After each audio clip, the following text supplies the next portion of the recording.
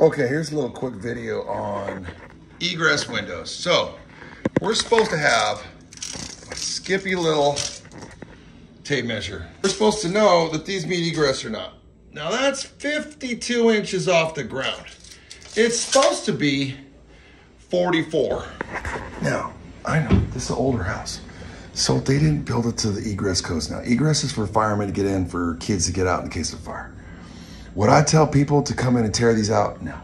But what I would tell them is, hey, if you got kids going in here, you might want to put maybe a little toy box or something over there. So if the kids need to get out, they can get out because it's a little bit higher.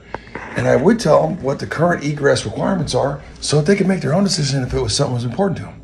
All right, egress, got to have a certain size opening for the window. It's got to be an opening window, obviously. And they're supposed to be within 44 inches of the floor. And there you go. And no, on old houses, I wouldn't always tell people to come tear all the windows out just because it doesn't meet egress.